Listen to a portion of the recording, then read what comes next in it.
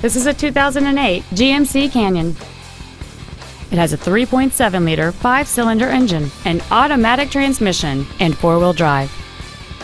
All of the following features are included aluminum wheels, a low tire pressure indicator, cruise control, a bed liner, a passenger side vanity mirror, fog lamps, an anti lock braking system, side curtain airbags, latch ready child seat anchors, and this vehicle has fewer than 61,000 miles on the odometer. Not to mention that this GMC qualifies for the Carfax buyback guarantee. Call or visit us right now and arrange your test drive today.